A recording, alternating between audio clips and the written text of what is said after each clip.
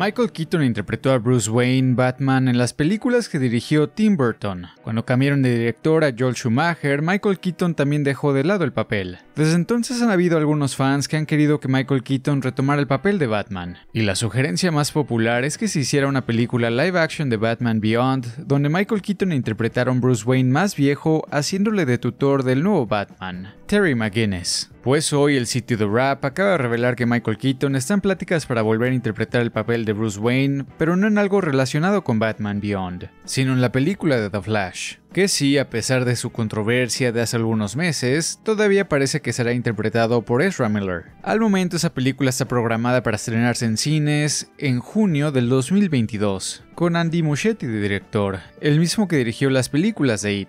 Ahora, esto no significa que Michael Keaton sea el nuevo Batman de ahora en adelante. La película de Flash estará basada en el evento de Flashpoint de los cómics, donde Barry Allen, Flash, viaja al pasado para salvar a su madre, y esta disrupción provoca que el presente de Barry sea completamente diferente. Los padres de Bruce Wayne no están muertos, sino Bruce, por lo que Thomas Wayne se convierte en Batman y Martha se convierte en una Joker femenina. Los Atlantes entran en una guerra con las Amazonas, Superman no cae en Kansas sino en Metrópolis causando una gran devastación, y varias otras cosas cambian en el mundo. Y ahora, solo para aclarar, según el reporte de Rap, Michael Keaton volverá a interpretar a Bruce Wayne, no a Thomas Wayne, por lo que quizá en la película Flash al viajar al pasado es quien provoca la realidad de Batman que vimos en las películas de Tim Burton. Y creo que quizá muestran que viaja al pasado y al presente en repetidas veces viajando a varios universos paralelos, efectivamente viajando a través del multiverso de DC. Entonces puede que vaya al mundo de Batman de Tim Burton y la participación de Michael Keaton sea algo breve y luego vuelva al presente. Y quizá viaje así repetidas veces hasta que llegue a una realidad más parecida al evento de Flashpoint. Y así también podríamos ver a Thomas Wayne, que por cierto hay un rumor reciente que Jeffrey Dean Morgan, quien interpretó a Thomas Wayne en Batman contra Superman, podría volver a interpretar a Thomas Wayne en la película de Flash. Solo tomen en cuenta que ese rumor, a diferencia de esta noticia de Michael Keaton, tiene menor sustento. Lo de Michael Keaton, aunque no ha sido confirmado, prácticamente es un hecho. Ahora, no sabemos cómo se desarrolle la película, pero no me parece descabellado pensar que esta película servirá para rebotear el DCU de cierta forma. Quizá con esta película hagan algo para justificar por qué ahora hay un Batman mucho más joven. Porque aunque parece ser que la primera película de Batman dirigida por Matt Reeves ocurre en un universo diferente, yo creo que DC sí va a hallar la forma de unirlo a los otros personajes. Y de esta forma conservarían a la Mujer Maravilla, Aquaman, Cyborg, Flash actuales, agregando al Batman de Pattinson. Y creo que con todo esto pueden hacer algo que sea muy loco, pero que al final de cuentas tenga sentido y coherencia. Eso es lo que espero. Pero ahora ustedes díganme qué opinan sobre todo esto. ¿Les gusta esta idea de que Michael Keaton retome el papel de Bruce Wayne o no? Dejen sus dudas y comentarios abajo. Y si les gustó este video, dejen su like y suscríbanse para ver más videos como este. Antes de despedirme voy a saludar a Ángel Perales quien escribió, un like para que regrese Toby.